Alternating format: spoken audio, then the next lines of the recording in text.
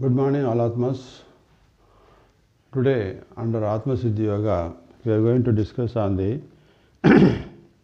ways to which, by which uh, we can build in the divine qualities in us, which is essential for us to lead a successful, peaceful life. And in that respect, how our ancient yogis has built the temples wherein one can develop these divine qualities in a very simple way. see, if you see commonly people, if you see for uh, leading a peaceful life, they go and learn uh, how to do meditation. But uh, from childhood to the old age, up to 60 years, uh, since every person is busy with this day-to-day schedules, day-to-day work, uh, they, they say when we ask, are you doing meditation, you are going to learn, learn meditation, are you doing meditation? They feel guilty, no, no, I don't have time to do. Even if I sit and do, a lot of thoughts comes to me and I could not able to, my head is getting heated up and getting headache. So this is the version of most of the people who do meditation or who practices. but one more thing is, uh, people go on walking, people go on uh, doing all this exercise, but still, people suffer from certain chronic diseases after certain age. But if you see in the olden days, uh, people live for 90 years. Recently, you would have seen a lady in uh, northeastern state in Japan. She was living 117 years, uh, but she doesn't do any all this yoga meditation. She keeps herself busy from morning till night. That's all. She goes, she is a farmer lady. She goes and uh, early morning she goes and uh, cut the the do the farming work. And after doing the work, she'll have some food and have the rest. And her only thing is she never thinks too much and she never feels uh, negative in her and she always keeps feels peaceful, happy. So for all the diseases, not by doing exercise alone. Exercise is only to keep the body active. Because nowadays all the gadgets have come. Earlier days, ladies used to go do all the work right from morning uh, in in doing all the kinds of uh, food like uh, sweeping, then then uh, all the uh, cloth uh, cloth washing, everything they used to do physically. All these are all yoga. Now everything has come. All the gadgets have come, washing machine, grinder, everything. So now the physical exercise have reduced, and now we used to have the uh, servant maid uh, to wash the utensils also. So what happens? There is no physical body movement. That is the cause for getting various diseases. Moreover, when the mind is when there is no work, uh, the mind will become idle, and it starts thinking negatively various things. The ego awakens in them. The ego makes them to think negatively by way of jealous, insecurity, anger. All these things will come. So, this olden day people they used to keep busy all the time, and whenever they are free, they go to temples and keep themselves in a divine way. That's why they lived 90 years, 100 years without any health problems. But today, we have all the gadgets, we have everything done by machines, uh, and there is no physical exercise. And people used to, uh, idle mind is there for women, ho- women in the houses, or people, whoever they do, they, wherever they go, the idle mind is devil's workshop. It begins to think negatively, the ego awakens, all these things are there. So, in the midst of all these things, uh, though we are now in the develop, uh, scientifically developed with these latest gadgets and uh, uh, this the idle, idleness of mind is there, we have to see, we have to gain the experience from the, ancient old people where they used to spend. So always keep yourself busy with the work right from morning you get up till night. You, you should not give waste even a single minute. Always be present and present and do one's duties perfectly. This is when once we, we involve in our work, totally, totally involved without any expectation, without any results, without do the duty perfectly. That is, when you do your duty, when you focus on your duty, that itself is meditation. But in that, to imbibe in the divinity, to keep yourself uh, divinity in you, that's why the ancient yogis. Uh, so people need not go to sit and do meditation where there are many thoughts uh, of uh, their past experiences, uh, then what is going to happen in the future, all these things, the thoughts start coming, means the, the point of sitting will become waste because idle mind becomes active then. So instead they said, it's very simple for them to do their duties in the day to day, daily and in the evenings in the mornings. Let them do this meditation by either let them develop the divine qualities by going to these temples. Where the temple, if you go inside, as I told you yesterday, when all people come with their uh, for the well-being of their family, though it is their selfish duties they are doing to keep the duties of fulfilling the to keep the well-being of their family. When all the families come together, then all the people are joining together and the entire society is praying for the well-being of their families. That means the entire society's uh, well-being is being prayed in the temple. That generates a lot of positive energy. So once you enter inside the positive energy, after having having a dip in the tapakulam to release the dirty, the uh, impurity in the body, mind and soul, then I come to the pyramid, that is Gopuram, leave all the negative thoughts from the mind and enter the temple. So in our temples we see a lot of gods. Why? Paramatma is one, but why they bring in so many gods? God is nothing but the manifestation of God is given by way of different shapes. And the objective is to see that we imbibe the divine qualities, various divine qualities inside us. God is not present physically, separately the God will not come. The Paramatma is inside us and He gives us the various divine qualities like patience, perseverance, dedication, devotion, involvement, self-confidence, self-determination, generosity, kindness, forgiveness. These are all godly nature. So once if a, a person possesses these qualities, he is treated as God. So one who does things with selfless service, who thinks, who does for the well-being of the humanity at large without any expectation, they are treated as God. So there is a godly nature. Just everybody has got the possess. So today we are in Kali Yuga. So you see, in Satya Yuga we have 100% Dharma. In Treta Yuga you have 25% adharma, 75% dharma. And in the Dwapara Yuga, we have 50% dharma, 50% adharma.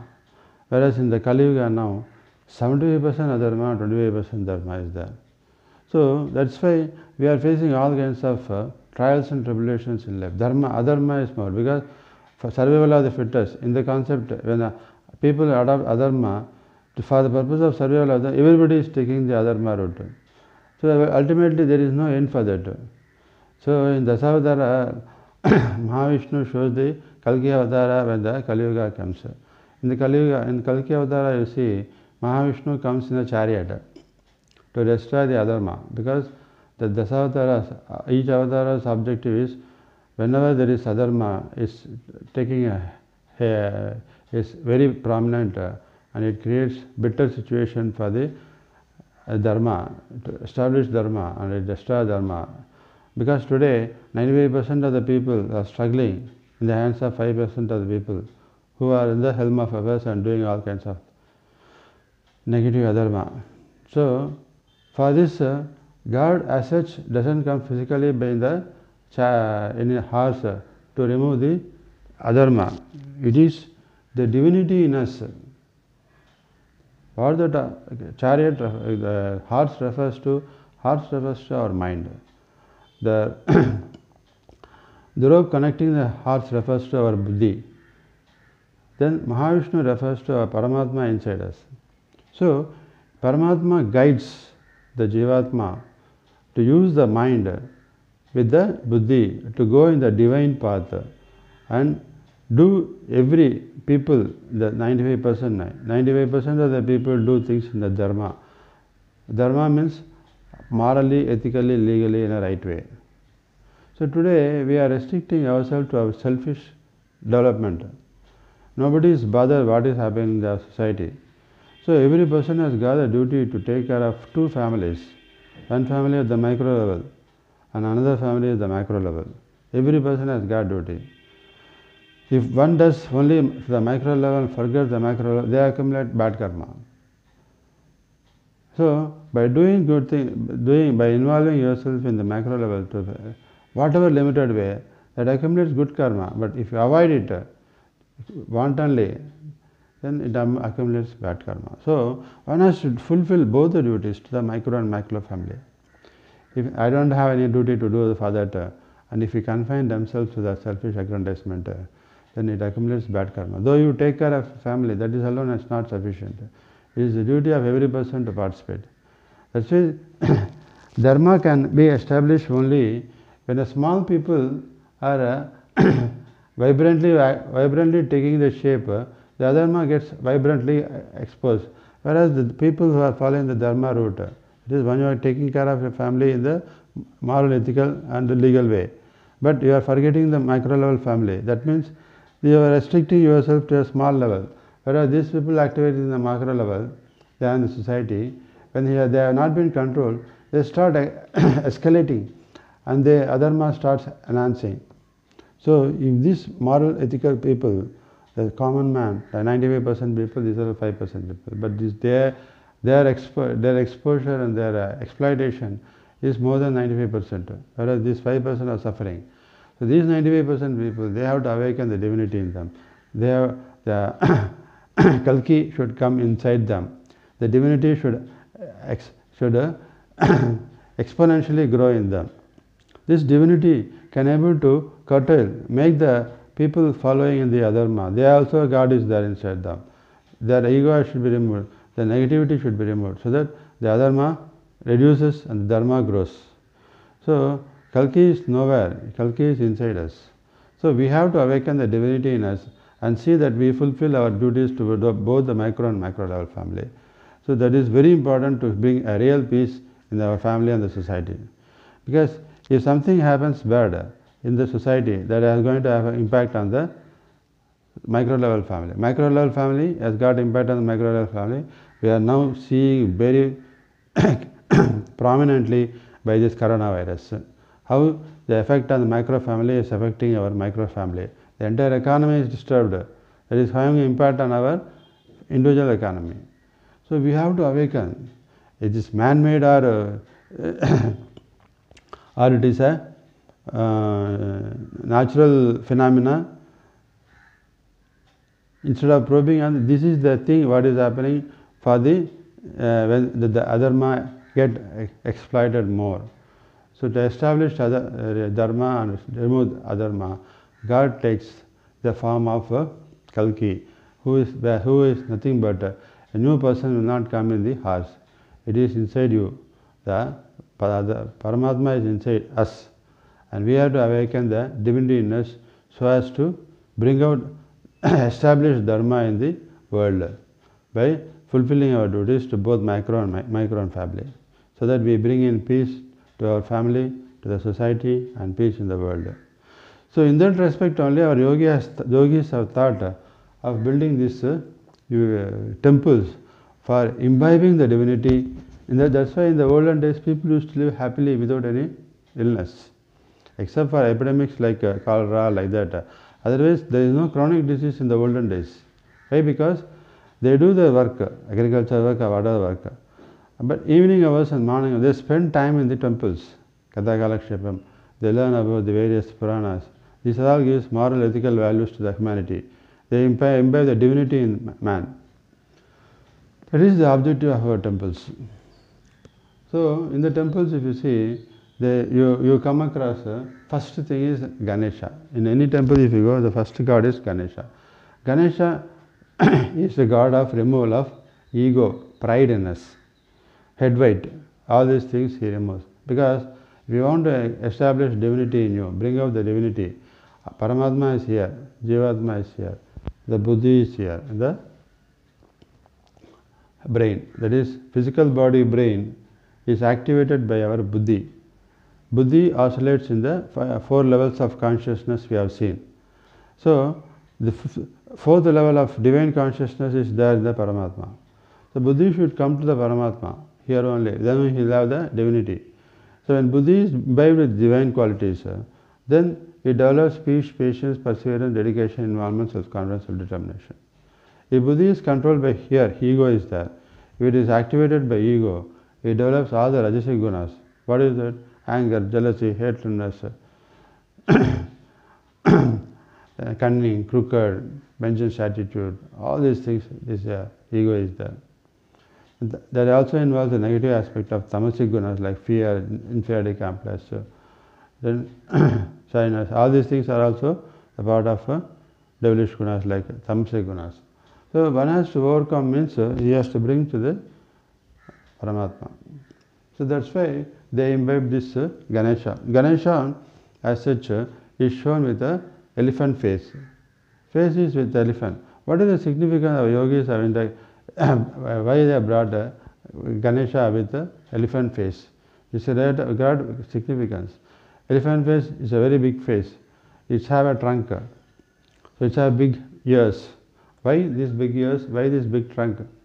So the yogic significance of having the trunk is so whenever a devotee comes to, to God, they, they break the coconut to remove the ego and pride. I told you that the Archana played.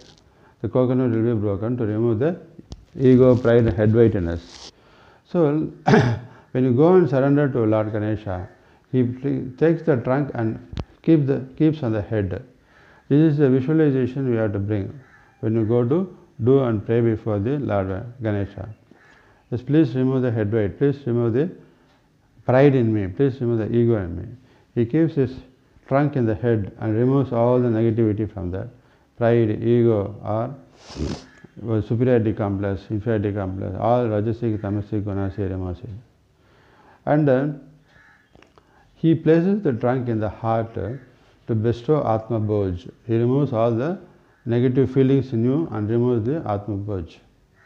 Okay. He have the big ears because people can pour all their uh, negative feelings, uh, the, the depressions, uh, the dejections, what is there in their uh, heart, which they can't tell to anybody. They can pour before Vignesh, Vinayaka. He hears them patiently and gives Atma words to them.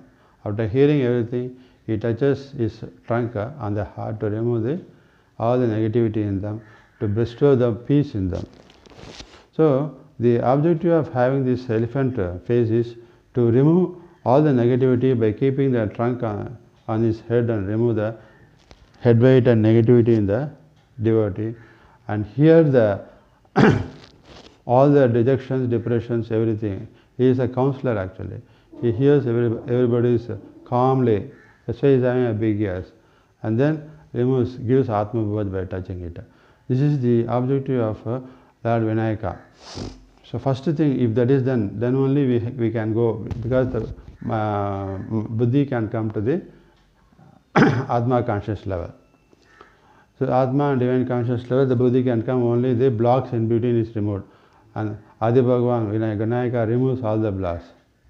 So that is the first step of uh, the yogis in uh, bringing this uh, elephant face to Lord Vinayaka. Now we will see how to worship Lord Vinayaka and other gods uh, one by one.